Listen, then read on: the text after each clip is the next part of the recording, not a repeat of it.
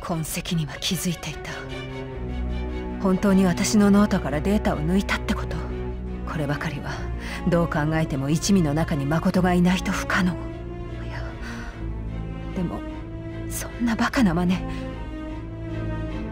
それに囚人の校長の件に一切関わっていないという話は本当なの？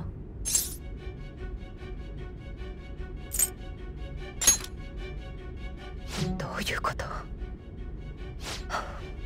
でも確かに今さら学校関係者を狙い直して命まで奪うというのは不自然ね。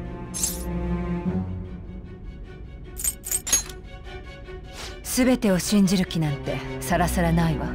でもどうやら君は保身で嘘をつく人種とは違う。認めるべきところは認めるわ。その方が合理的だと思うだけよ。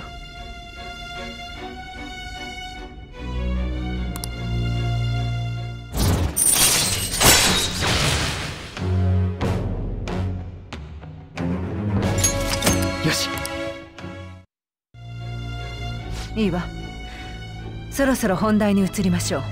私の捜査情報を見たならあなたは奥村に私と同じ疑いを持ったはず。しかもパレスを除いたならその答えも見たはずよ。教えて。